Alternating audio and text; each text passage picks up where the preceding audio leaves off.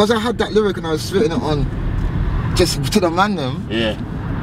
how that top producer lyric came around, like top producer. Yeah. Because I already had that lyric and Kane always used to say to me, spit that yardie bar, spit that. So one time on birthday set, I, I spat it.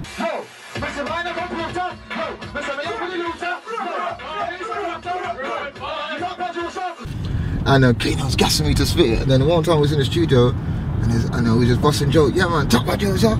And then Kane was like, yeah, I come top. And then and then I was like, oh, for the little top. And then it was busting out. And I was like, no, put that on, put that on the tune, put that on the tune. You get me? Mm. And then that was when we was making Destruction, and that's how Top Producer was born. So you went from DJ, producer to MC. Yeah, that was a journey. Get me? transition. Similar to Skepta, Yeah. but a as well at that time, me and Skepta started spitting at, at the same time. We was both DJ producers. Obviously, the, the heart of the music was happening in the East. Everyone Yeah. was doing it north, south, but they were still doing it. Yeah, but- East was the mecca. Yeah. You get what I'm saying? So I was already ringing bells in the In- in the in southwest, near ringing. Yeah. I heard Skepta DTI.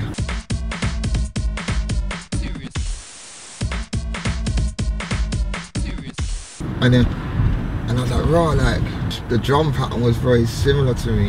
And I was like, raw, this is sick, like, I want to get this guy to do a at me. It's real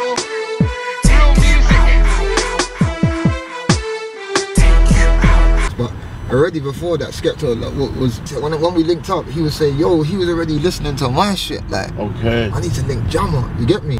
Or there's a DVD called Hood Heroes. Yeah, yeah, I've seen that. Yeah, yeah, and we was clashing. Yeah, yeah, yeah. I've Skepta, I ain't into your jokey raps, your flows are whack.